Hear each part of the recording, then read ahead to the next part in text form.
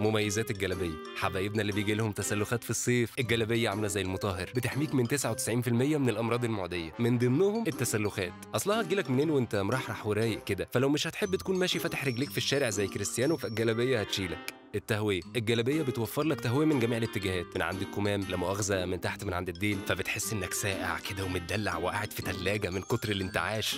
محدش عايش في أي مكان في مصر ما جريش ورا كلب قبل كده. بس خلاص إحنا وكلاب الشوارع بقى في بينا ديل. إن هسيبك تجري ورايا براحتك. في مقابل إنك مش هتعضني والدنيا ماشية حلاوة. الجلابية عمرها ما هتخذلك في موقف زي ده. لأن الجلابية فيها option إنك تتني نصها التحتاني كده وترفعها كده وتربطها على وسطك كده أو تحط طرفها في بقك وتسحب sprint ولا أجدعها super hero. بمناسبة التشميرة بقى لو رايح تشتري موز مثلا والراجل قال لك ما عنديش شنط الجلابية فيها جيب سري زي جيب الكنغر كده. شمر جزء منها وارفعه بإيديك وخلي الراجل يعبي أي وزن تحبه. كيلو اتنين تلاتة وشيله وامشي جيوب الجلابية مش مجرد جيوب. تقدر تعتبرها شوارع بتمتد من عند الوسط شمالا لحد فوق الركبة جنوبا. يعني فلوسك في أمان. أنت شخصيا مش هتعرف تخرجها من المتاهة دي تاني. الجلابية هي المعنى الحقيقي للراحة والرحراحة. بمعنى إنها هتحررك من كل القيود. كمان هتكون حنينة عليك جدا في موضوع الوقت. يعني مثلا لو مدي ميعاد لواحد صاحبك الساعة 10 تقدر تصحى الساعة 10 برضه. لأنها مش هتاخد أكتر من 9 ثواني في لبسها. أو ثانية.